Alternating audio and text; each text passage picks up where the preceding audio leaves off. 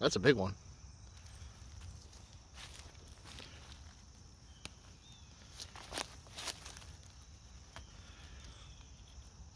Look at that. Three different wild edibles within arm's reach of each other. Hey there, welcome back. I'm John. Uh, it's early spring right now. It's a beautiful time of year and a great time to collect wild edibles. So let's eat what we can eat. This is onion grass or wild garlic.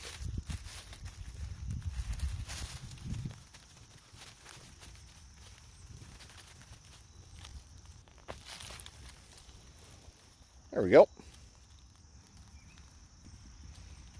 The whole plant's edible. Um, the bulb is the best part though.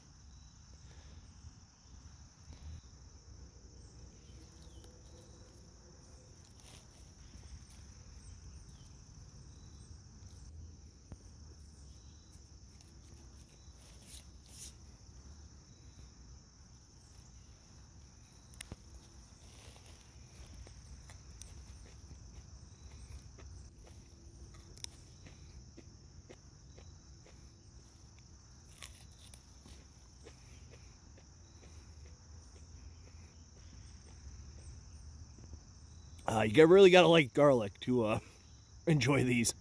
They have a very strong garlic flavor.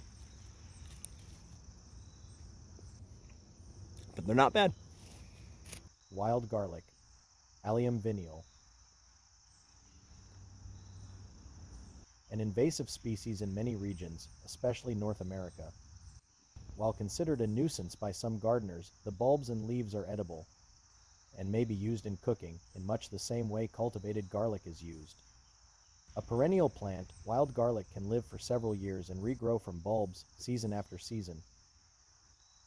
This hardy plant is tough to eradicate, especially once it establishes itself.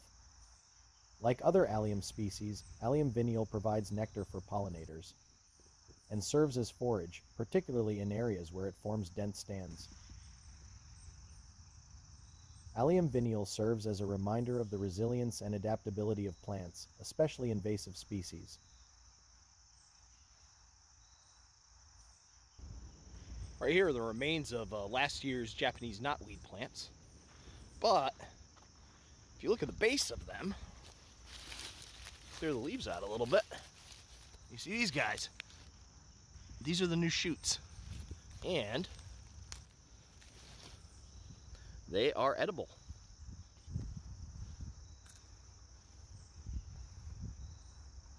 Mm.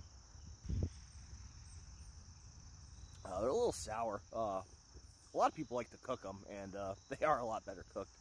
But uh, they're not bad raw. Kind of like uh, rhubarb. Um, the good thing about them is uh, Japanese knotweed is a very invasive plant. So the more you eat, the less they grow. Here's another knotweed shoot.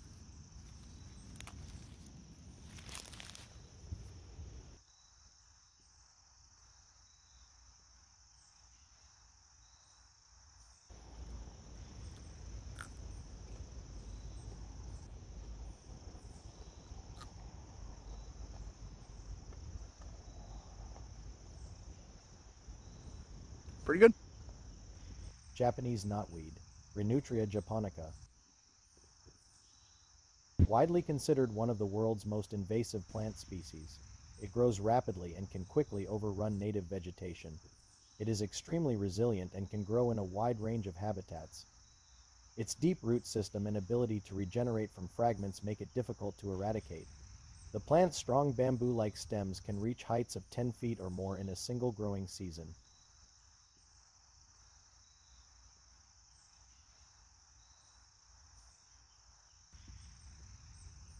Japanese knotweed can alter ecosystems by outcompeting native plants for resources, reducing biodiversity.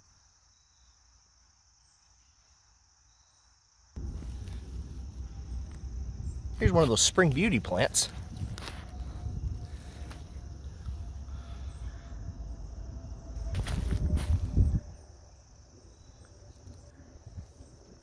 Mmm.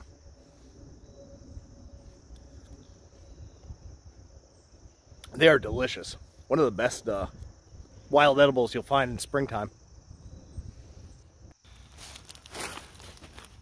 You can eat the uh, the whole uh, spring beauty plant, the flowers, the leaves, and everything. Um, but the best part, in my opinion, is something called the corm. It takes a little bit of getting to get to it.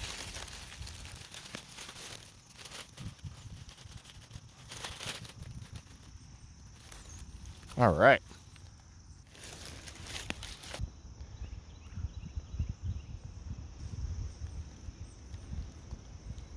This is what we're after.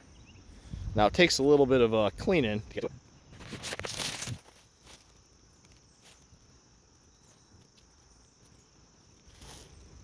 to get the dirt off, now you have to peel the skin off.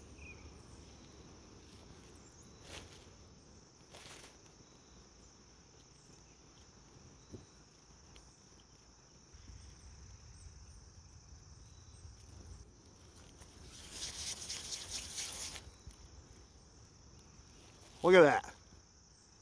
Like magic. Mmm. It's like a mild radish uh, flavor. They're delicious. Definitely worth the work. Spring Beauty, Claytonia virginica. A member of the Montiaceae family, the Spring Beauty is native to eastern North America. As its name suggests, it is one of the earliest wildflowers to bloom in New England. Each delicate flower blooms for only a few days before wilting, but new flowers continue to emerge throughout the season. Spring beauty plants are commonly found in woodlands, meadows, and along stream banks. They are vitally important to early spring ecosystems, providing nectar and pollen for early emerging spring pollinators such as bees and butterflies. Spring beauty plants can easily be cultivated in home gardens, tolerating partial shade particularly well.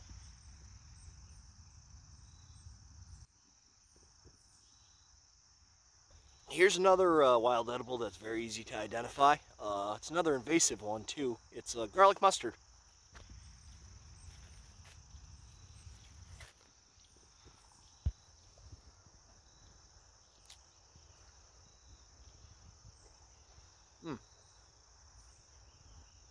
It's a little bitter. Believe it or not, it has a uh, garlicky, mustardy taste. Who would have thought? Garlic mustard, Alliaria petiolata. A member of the Brassicaceae family, garlic mustard is native to Europe and parts of Asia. It is another highly invasive plant in North America.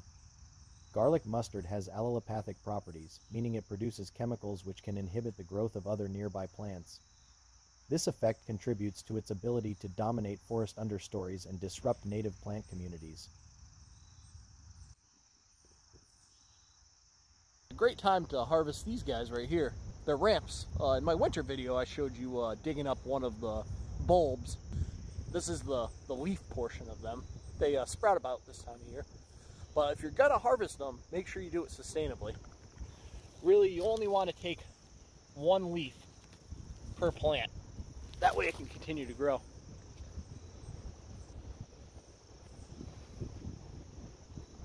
But they're delicious. Uh, it's kind of a mix between lettuce and onion.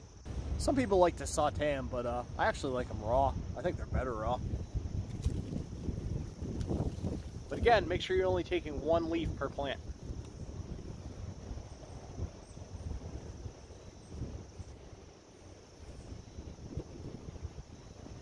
Great wild edible. Ramp, Allium tricoccum. Ramps are a springtime delicacy, typically appearing in forests and wooded areas from late March into early June. However, due to their popularity, overharvesting can threaten wild ramp populations. Responsible foraging practices are encouraged to ensure sustainability. Ramps belong to the Allium genus, which includes other members such as onions, garlic, and chives. They reproduce both by seed and by spreading rhizomes, allowing them to slowly colonize large areas over time. However, this process is slow, contributing to their vulnerability to overharvesting. If you are going to harvest them, please do so sustainably.